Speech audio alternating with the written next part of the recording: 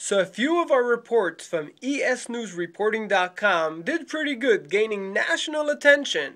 Of course, on Jimmy Kimmel last night, the little interview I did with uh, baseball legend, American icon Tommy Lasorda, where he sees Mini Me and he asks me, "Hey, how do you pitch to that guy?"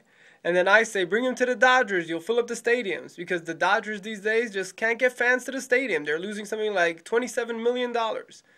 Uh, another thing that was the talk of the day on ESPN today, which was not very cool. I did an interview with Michael Irvin. I interviewed him about Floyd Mayweather, and he said Mayweather gives brothers a bad name. ESPN, their morning show, some guy named uh, Kenny Bayless, no, Kenny Bayless, that's the official, but some guy named uh, Skip Bayless, he started talking about his show. Then SportsCenter picked it up. They used all my quotes from my video, from my interviews, but never mentioned ES News, never mentioned Elie Seckbach, never mentioned any credit. That's not cool. I mean, if somebody goes out to do the work, they get the interview, they upload it, they edit it, they write it. Just give them credit. I don't do that to ESPN reports when they report something, and if they do, I always give them credit.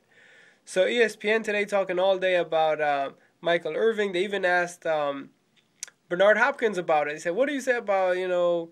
Michael Irving saying that Floyd Mayweather gives brothers a bad name. So there you have it. ES News reporting gaining lots of attention, but could be better if people will give credit. For ESNewsReporting.com, I'm Elie Seckbach reporting.